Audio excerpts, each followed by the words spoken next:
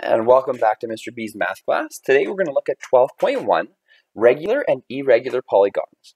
So with this lesson here, uh, it's a big chunk of it's a review from grade 7, as you did look at tessellations in grade 7. So um, it'll be a nice refresher for you to take a look at some things from last year. So let's begin. Uh, some key terms for today's lesson. Uh, if you remember from last year, a polygon. Well, a polygon is a plane figure with at least three straight sides and angles. So examples I've got for you there are things like your square here, a rectangle, a triangle with three straight sides, or even here, a pentagon. So all of these uh, items here are polygons because they have those three straight sides, or we have our angles in between.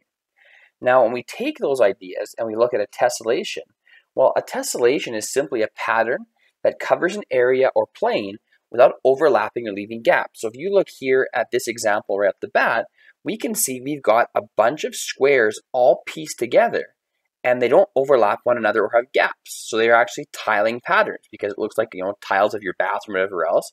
They all fit together nicely with no overlap or gaps. Here we have some triangles. Again, all of them are together and you can see here. There are also no gaps or any overlapping.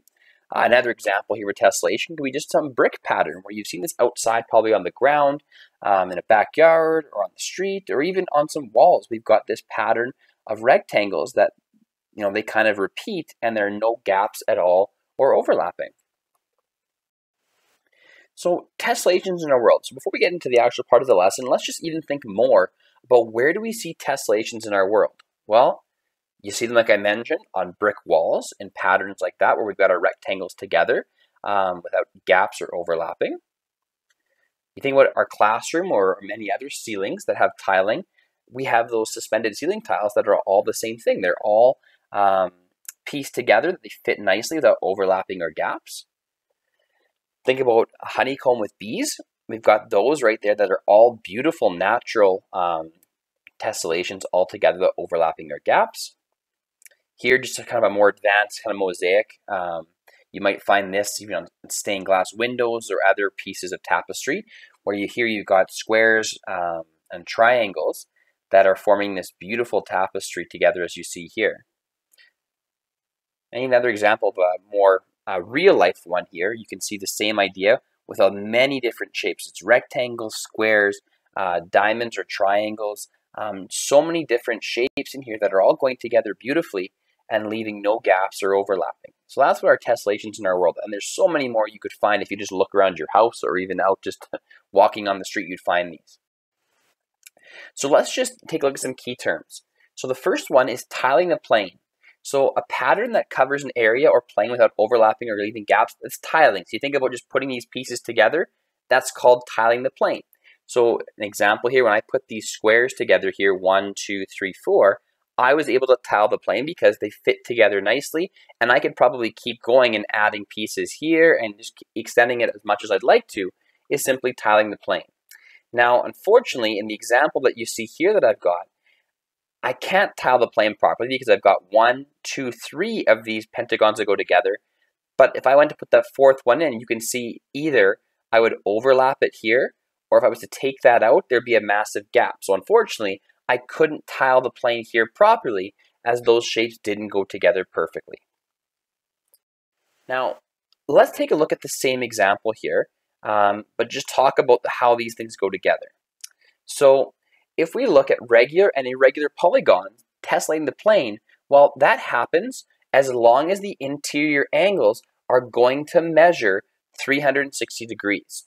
So for example here, we know with squares, well, they have right angles. We know that this is going to be 90 degrees, and that's going to be 90 degrees, and that's 90 degrees, and that's 90 degrees. Well, if you take all these angles here and add them together, well, 90 plus 90 plus 90 plus 90, well, that equals 360 degrees. So we know, yep, that was perfect. We had, didn't any problems because all those angles matched up to equal 100, 360 degrees. You could do the same thing with triangles here in our tessellation.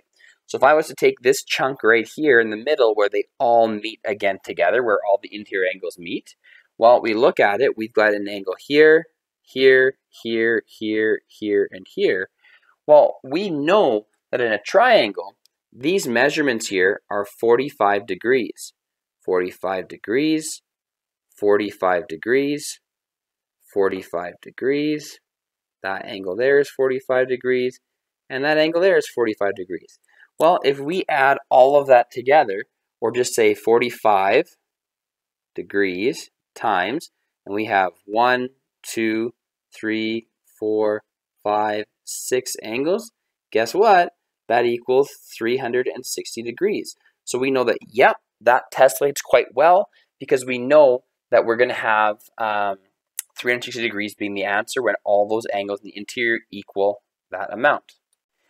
Now, when we look at our last example of our pentagons, we can tell just by looking at it that it's not going to tile properly because it's not going to fit, but we could even double check this by using our math for our angles. Well, in a pentagon, the angle here is actually 96 degrees. That's that angle. And this one is 96 degrees. That's 96 degrees. Well, we know that if we have those three angles, there's not enough room there to have 96 degrees. Because if we were to take 96 degrees and multiply it by 4, because we have our four uh, sides there, four angles, that gives us 384, meaning that there's too much. We're, we're too big for the gap. And we know that here because we can see that our fourth pentagon will not fit properly because all those angles will measure to equal that. So unfortunately, the four pentagons can't tessellate the plane properly because the interior angles cannot equal 360 degrees. They're too uh, too big, therefore uh, they'll be overlapping and not fitting together nicely. So that's again how we know whether things are going to tessellate or not. A, if they fit together nicely, but B, the interior angles all need to equal 360 degrees. If not, they did not tessellate the plane.